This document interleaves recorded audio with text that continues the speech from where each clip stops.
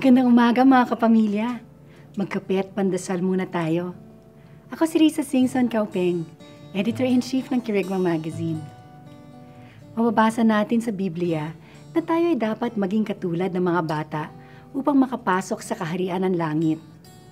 Ano ba ang mga katangian ng bata na nakakagiliw sa Panginoon? Una, sila ay mabilis magpatawad. Ang bata ay hindi marunong magkimkim ng galit Kapag pinapanood ko ang dalawa kong maliit na mga anak na mag-away, pagkalipas lang ng ilang minuto ay bati na naman sila at naglalaro. Ang bilis nilang makalimot. Pangalawa, hindi sila nagmamataas. Gaya ng ating Panginoon, walang batang mataas ang pride. Hindi pa nila naiintindihan ang konsepto ng pride ng isang tao.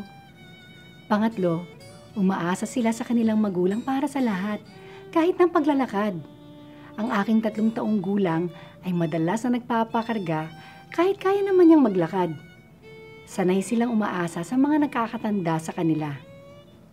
At panghuli, hindi mapanghusga ang mga bata. Hindi sila marunong mamili ng mayaman o mahirap. Kung gusto nating maging dakila sa mata ng Diyos, ating sikapin maging tulad ng mga bata. Ating ipangaral si Kristo, hindi kontrobersiya.